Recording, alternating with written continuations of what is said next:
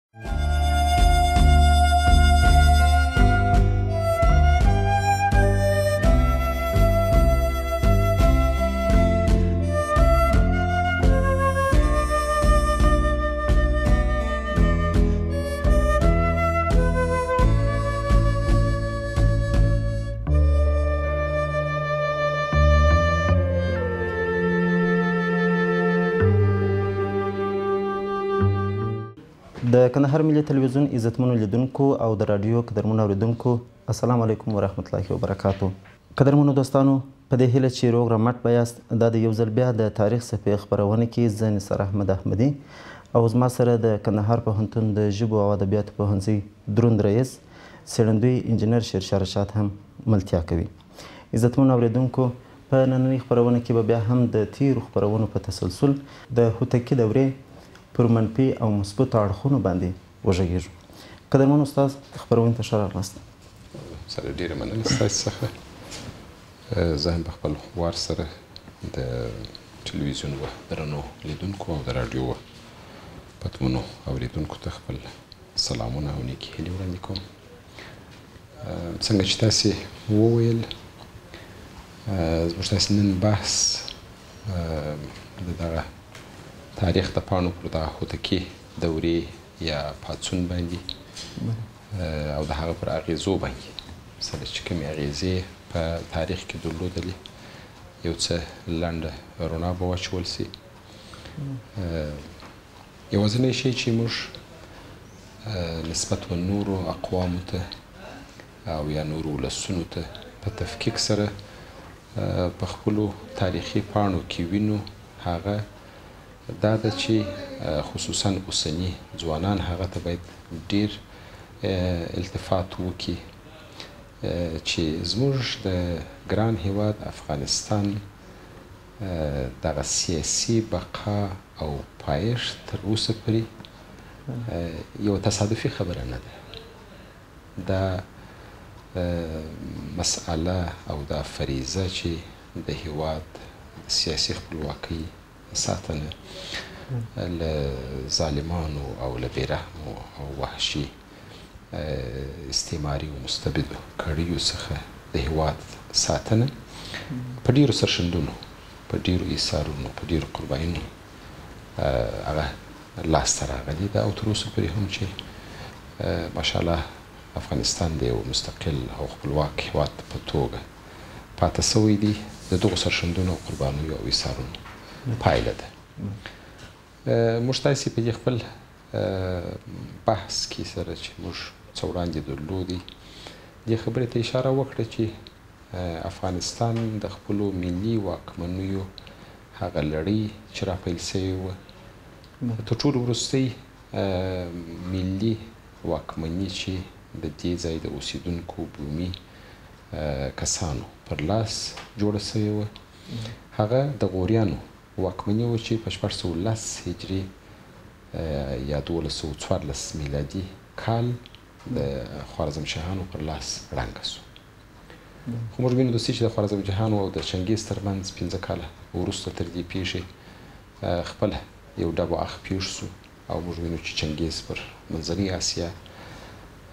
برید کوي او بیا راځي افغانستان ته دا د ظلم او د وحشت او د بربریت لړۍ راغځیږي او بیا له دې خوا څخه نورو هیوادو ته هم هغه وږدیږي او موږ وینو چې د دې تاړاکو څخه هیواد ټوکر ټوکر کیږي او ښه اوږده دوره د دغو ظلمو دوام کوي او موږ وینو چې درې سوه کاله یا درې پیړۍ افغانستان پرته له کوم مرکزي واکمنۍ څخه او خپل افغاني خصوصیتو څخه دلته خپل سری او یا سیمه ییز قوتونه جوړیږي سره چې دوی خپل بقا تامینوي او موږ وینو چې د لسمې پیړۍ په سر کې په نسو اوم کال کې شاوخوا په شمال کې د شیباني ازبکو خانانو له خوا څخه یوه واکمني جوړیږي چې افغانستان ته یو خطر دی. په لویدیځ کې موږ تاسې وینو چې د شاه اسماعیل پر لاس یو متعصبه مذهبي واکمني جوړیږي چې دا یو بل خطر و افغانستان ته او په ختیځ کې وینو په 932 هجري هجري کال چې د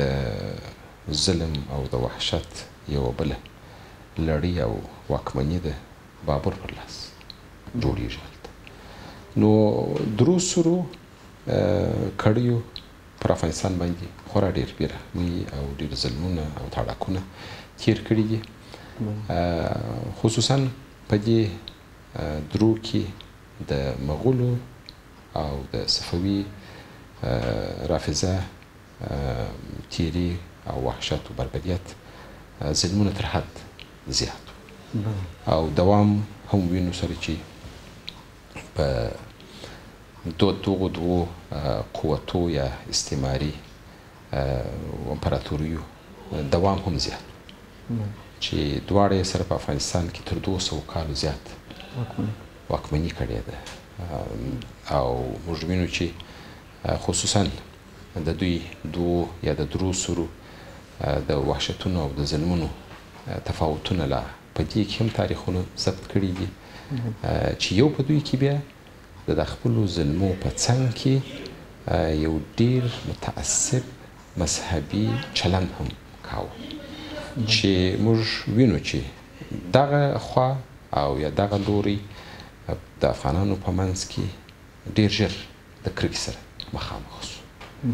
او دغه په مقابل کی پاڅونونه راولاړ سول او دغه خطرات د درو لورو څخه افغانستان ته په داسی حال کی وه چی نه یوازی هیواد یې ټوکر ټوکر کړي بلکی ولسونه یې په زرهاو په لسهاو زره کسان ووژله، سرونه پرې سول، د ککریو څخه منارونه جوړ سوله، تر حد تېرې بې رحمۍ او ظلمونه وحشتونه وسوله او خلګ و دې ته اړ ایستل سول چي دا سیمه به پریږدي او له دې سیمې څخه به یې سره د دې ځای هغه بومي استوګن کسان شړل او خپل راوستل شوي سپایان او لښکر به یې د لې ځایان کوله چې موږ وینو چې په دې څو پیړیو کې د هغو پاتې شوني اوس د دې افغان لوی ولس یو برخه ګرځېدلې ده هغه وینو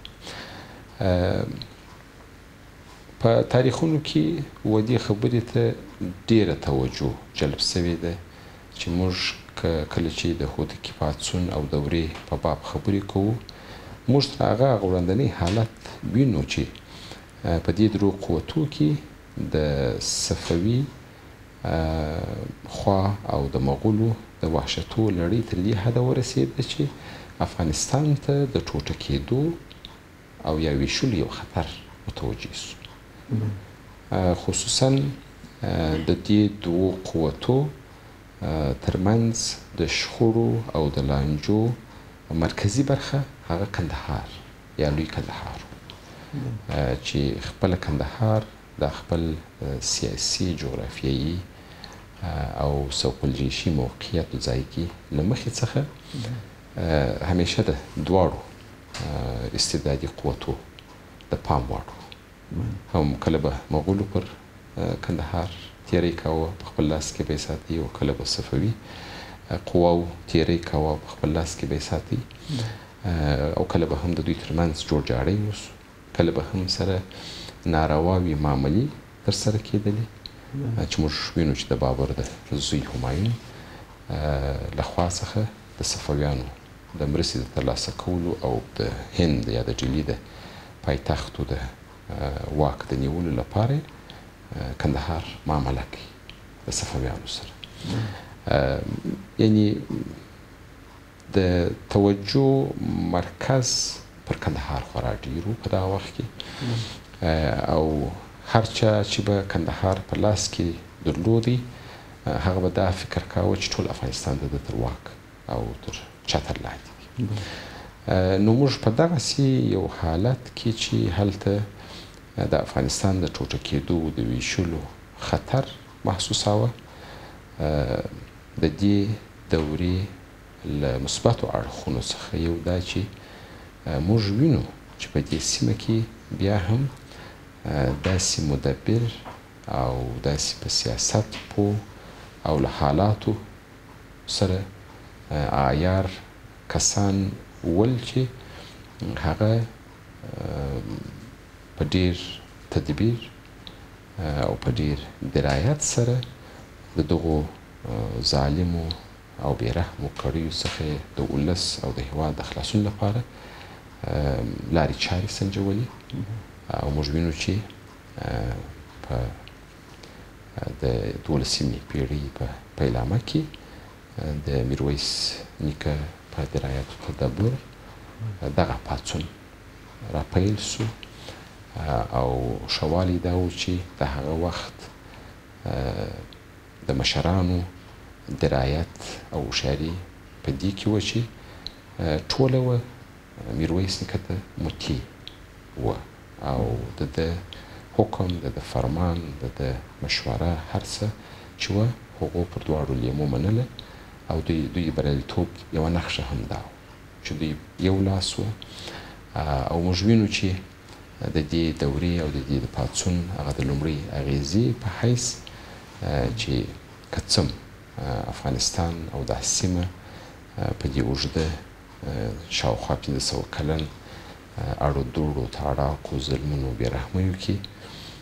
له اقتصادي او ټولنیز او فرهنګي پلوه ډېره ځپل شوې وه دا ټولنه او موږ متاسفانه دا حالتونه په تاریخ کې خورا ډېر لیدلي دي تر اوسه پورې چې موږ څو څو پلا سره ځپل شوي یو. او بیرته مو له صفر څخه بیا رغونه پیل کړې نو افغانستان د دغسې یو حالت سره مخامخ وو او په دغه حالت کې چې موږ هم کرهڼه او هم ورهنه یعنی صنعت هم سوداګري ټول پر ټغه درېدلي وو په دې ټولو حالاتو کې په دغسې یو حالت کې د یوه دغسې مدبر شخصیت رامنځته کېدل چې هغه ولس پر ځان راټول کړي او د دې ټولو مظالمو په وړاندې هغه په ډېر تدبیر سره ودرېږي، نو موږ وینو چې هغه پټ او مرموز سېک، توان او قوت چې په دې ولس کې شته، هغه وځلېدی او موږ وینو چې په ډېر منظم توګه یې وکړای سوای چي د صفوي نظام سپایان او د ګرګین قوت ټوله دلته محو کړي او یو ملي دولت، یو ملي حکومت د میرویس نیکه د مشرتابه لاندي هغه دلته جوړ سي. د دې په څنګ کي. موږ تاسې وینو چې هغه راز چې په دې کې پروت دی هغه دا و چې د وطن مینه له دې ولس سره محبت او د پردیو بیرحمیو ظلمونو زموږ پر سیاسي حریم او خپلواکۍ باندې زموږ پر ناموس او تقدساتو باندې تیری هیچا نه سوای زغملی نو د هغه د دفع لپاره د هغه د ساتنې لپاره دا پټ او مرموز سیک او توان او قدرت و په موږ کې صرف د هغه د انتظام او سمبالتیا لپاره یو حرکت ضرورت درلود چې هغه حرکت پیدا سو او موږ وینو چې دا ټول څه دفع سوله او موږ حتی وینو چې نه یوازې دفع د ظلمونو وسوله او د تیریو وسوله بلکې حتی دغه قوت لا په موږ کې وو او زموږ په ځلمیانو او په تنکیو ځوانانو کې دا وو او سته چې موږ کولای سو خپل دښنه او دښمنان چې دي هغه نه یوازې تر خپلې خاورې وباسو بلکې د دوی په نطفه کې لا هم خونسا کړو چې دا موږ تاسې د شاه محمود هوتک په پاڅون کې وینو او ښه ثبوت یې دی چې قوا یې تر اصفهان پورې ورسېدله او په اصفهان کې یې لا سره د دوی واکمني ړنګه کړله درېیمه خبره چې موږ وینو هغه دا دی چې موږ نه یوازې د خپلې ازادۍ لپاره همیشه ځانونه ستړي کړي دي بلکې د نور د ازادي لپاره مو هم کار کړی دي چې د هوتکي پاڅون او دوره موږ تاسې وینو چې په افغانستان کې د دې صفوي رافضه متعصبې واکمنۍ په وړاندې دوی ودرېدل هغه یې له خپل ملک وشړل بلکې موږ وینو چې په تبریز کې، په خراسان کې، په مشهد کې، په سیستان کې، په کرمان کې، په دې ټولو احساسو کې چې کوم ظلمونه په دې دوه سوه څو کالو کې د شاه اسماعیل د متعصبه مذهبي سیاست له مخې چې جوړ شوي وه، هلته د یوه لوی اکثریت په توګه د دې سیمې چې هغه د اهل سنت جماعت و، د هغه د حقوقو د دفاع لپاره هم موږ وینو چې شاه محمود هوتک درېږي او د دوی د مذهبي حقوقو د دفاع لپاره د دوی د کلتوري حقوقو د دفاع لپاره دی خپل لشکر او سپایان تر اصفهان پورې رسوي که څه هم په تاریخونو کې د نورو لپاره ځان فدا کول او سر بایلل له مثبت او منفي دواړو اړخو سره مخامخ شوي دي سره چې ځینې کسان یې سره یو اړخ ډیر ستایي او ځینې کسان یې بیا منفي خوا غندي سره چې البته دا د تاریخ کله کله ځینې مجبوریتونه او کله کله بیا ځینې مصلحتونه وي سره چې موږ و دغسې یو شي سره مخامخ کیږو د دې دورې په اغېزو کې د دې په څنګ کې موږ نور موضوعات چې لرو هغه دا دي چې افغانانو د دې خپلې واکمنۍ په ټوله دوره کې د نورو استعماري قوتو خلاف همیشه د واک پر مهال یو زړسوی درلودی یو رحم یې درلودی او پر خلکو یې یو پیرزوینه درلودله. موږ دا نور وینو چې کله چې به دوی ښارونه فتح کړله، د هغې سیمې پر خلکو به یې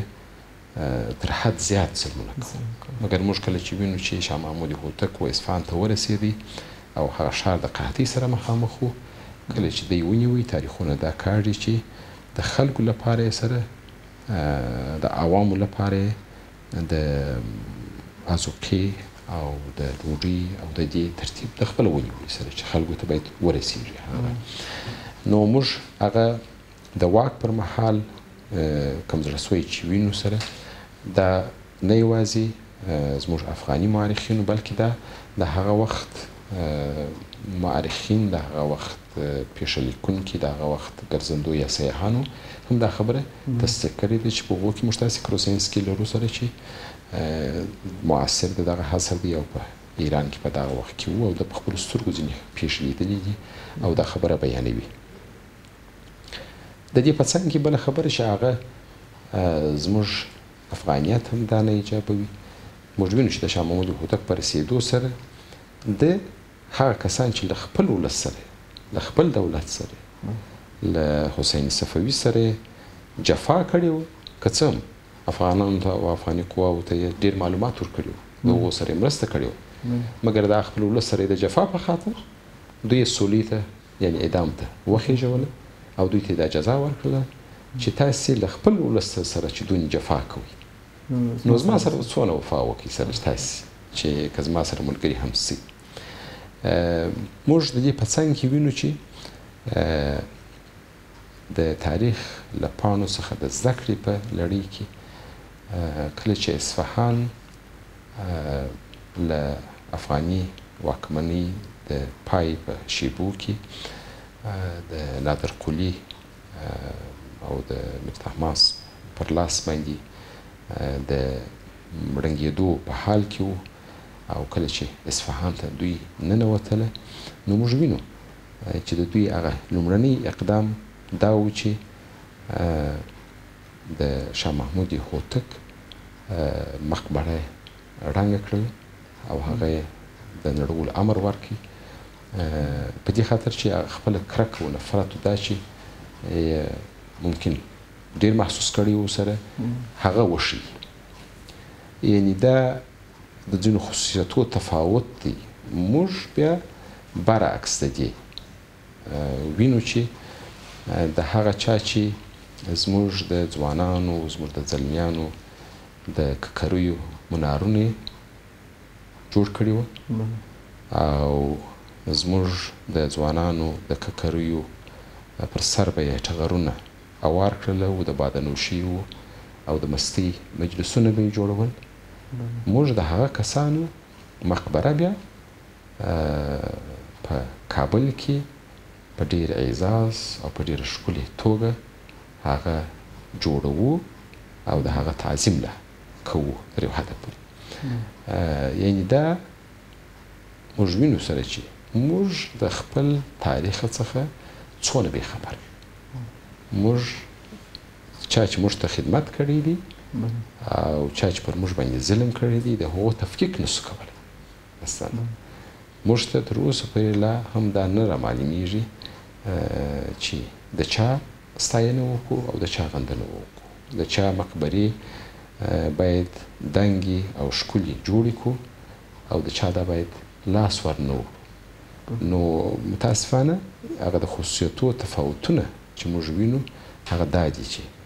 او د تاریخ له پاڼو څخه دا د زده کړې لپاره باید موږ وګڼو چې متاسفانه موږ د تاریخ د افتخار وړ کسان متاسفانه په دې وروستیو څلوېښت کلونو سیاسي حالاتو کې په ډېرو سپکو الفاظو سره یاد کړي دي خپل درانه وو مګر هغه چې سپک وو د ځینو تبعیضاتو له مخې څخه هغه مو بیا په ډېر اعزاز سره یاد کړي دي چې دا خبره چې دا د مخه یې ما څه بولګې وړاندې کړلې سره د دې ښه ثبوت ګرځېدلی شي بله د عبرت خبره چې موږ د دې هوتکي پاڅونو دورې له دغو څو دېرش کلونو یا څو څلوېښت کلونو تجربو څخه تاریخونو راوړې ده هغه دا ده چې افغانان باید خپله سیاسي واکمني له خپلو کلتوري کړیو څخه د باندې ونه باسي، ځکه چې همیشه چې موږ له خپلې کلتوري کمبلې څخه پښې نورو خواو ته غځولې دي، موږ د ضعف سره متاسفانه مخامخ شوي یو، ځکه چې په دې کې دوه اړخه دي، یو دا چې موږ د خپلې واکمنۍ د حمایې او د ساتنې له پاره باید په دا خپله کلتوري حلقه و حدودو کړیو کې د ځان د حمایې له پاره باید خلک را جذب کړو چې هغه په ډیر اسانه کیدلی شي مګر کله چې موږ یو پردي کلتوري ماحول ته ځو هلته بیا که زموږ سره هم څوک دریږي هغه د یو موقت وخت لپاره د لنډ مهاله لپاره د خپلو غوښتنو او اهدافو ته د رسېدو لپاره راسره درېږي، مګر تلپاتې او دایمي وفا زموږ سره نه کوي، چې موږ تاسې په دغه دوره کې وینو، چې د دوو پلازمېنو جوړېدل په دې واکمني کې، چې یوه د دننه په افغانستان کې د کندهار پلازمېنه وه او بل تر افغانستان دباندي په هغه وخت کي په اصفهان کي پلازمېنه جوړېدل خپله ددې واکمنیو تر منځ یا په یو واکمنۍ کي سره د پلازمېنو تر منځ د واټن ډېرښت او د قواو وېشل خپله هم یو علت و چي دوی ونه کړای سوای چي په ډېرو اضطراري حالاتو کي قواوي له خپلې لومړنۍ منبع څخه ور وغواړي او یا که یې غوښتلی هم په ډېره اسانۍ سره هغه ورسېدلی نه شوای نو یو بل ته یې سره د مرستې لاس نه شوای غځولی سره چې او په هغه ماحول کې چې موږ ولیدل چې کوم د شاه محمود هوتک کوم د شاه اشرف هوتک سره په کلو کلو ولاړ سپایان او لشکري چې وي هغه چی وخت یی راغی بیا هغو وفا ونه کړل او موږ وینو چی هغو په خپل د هغه وخت د افغانی واکمنی بنسټونه نور هم سره سست کړل او د هغه د ړنګیدو د پاره زمینه خپل دوی مهیا کړل نو د عبرت په توګه تاریخونو دا خبره ضبط کړی ده چې موږ باید هغه خپل په سیاسي واکمنۍ کې خپل کلتوري عناصر باید هېر نه کړو چې هغه له هم ژبو سره له هم دینو سره له خپلو د هیواد له هم تبعو سره موږ کولای شو سره چې یو مفاهمې ته ورسیږو مګر له پردیو ژبو سره له پردیو مذهبو، له پردیو ادیانو سره او له پردیو هیوادو له اتباعو سره دا خبره مشکله ده چې موږ دې وکړای شو. نو سیاسي واکمني هغه وخت بقا او پایښت درلودلای شي چې د هغې سیمې هغه واکمن کلتوري عناصر هم ټوله خوندي پاتې شي او یا په هغه کړۍ کې سیاسي واکمنۍ باید دوام پایښت ولري سره چې هلته هغه کلتوري محدوده ده په هغه ځای کې نو که موږ سیاسي واکمني کوو مګر پر موږ باندې یو پردی ژبه واکمن وي دا په دې معنی چې موږ خپل یو کلتوري عنصر د لاس ورکړی دی دا اس کېدلی شي سره چې ډیر داسې څه وي چې هغه متاسفانه له نورو پردیو هیوادو څخه په کلتوري لحاظ پر موږ باندې ترپل کېږي چې هغه زموږ په ټولنه کې د منښت وړ نه دي چې دا خپله بیا د سیاسي واکمنیو د تضعیف او د تذبذب سبب کېدلی شي نو دا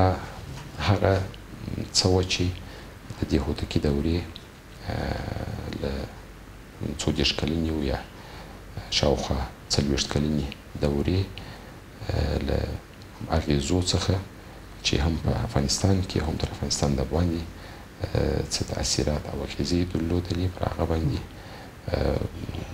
مثبت او منفی اړخونه ول په راتلونکی خپرونه کی به موږ ددی دوری پر ادبی فعالیتونو او آثارو باندی او پر ادبی شخصیتونو باندی یو لنډ بحث ان شاء الله ولرو استاد محترم ډیره مننه کوو ژوندي اوسئ چې خپرونه کې مر سره ګډون وکړي او د هوتکي دورې پر منفي او مثبت اړخونو باندې